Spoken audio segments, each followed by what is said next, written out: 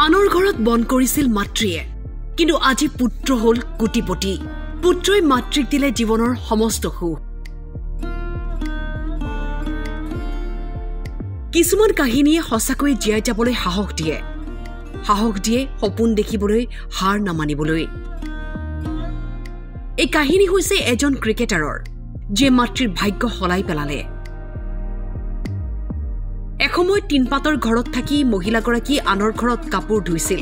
সেই টকাৰে ঘৰ চলিছিল পোহপাল দিছিল সন্তানক।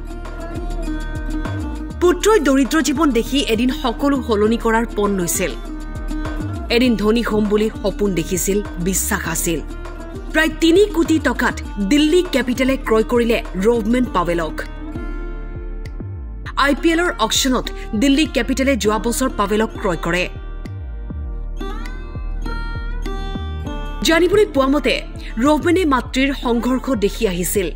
কেনেকৈ দুই পইচাৰ বাবে আনৰ ঘৰত কাম কৰিছিল অকলেই মাতৃয়ে দুটা সন্তান ডাঙৰ কৰিছিল। কাৰণ সন্তান জন্মৰ পূৰ্বে ৰভমেনৰ পিতৃয়ে পত্নীক গ্ৰহণ কৰা নাছিল। তেতিয়াৰে পৰা মাতৃগৰাকীয়ে অকলেই দুই সন্তানক ডাঙৰ দীঘল কৰিছিল। আৰু আজি পুত্ৰই সপোনৰ পিছে পিছে দৌৰি মাতৃক ঘূৰাই দিয়ে সেই সন্মান। ৰভমেন পাৱেল এজন জামাইকান ক্ৰিকেটাৰ যি ৱেষ্ট ইণ্ডিজৰ হৈ খেলে।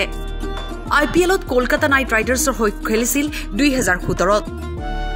আৰু যোৱা বছৰ দিল্লী কেপিটেলছে অধিক মূল্যত ৰভমেনক ক্ৰয় কৰে। আৰু ৰভমেনে মাতৃক দিলে এই বিশেষ উপহাৰ। News desk time eight.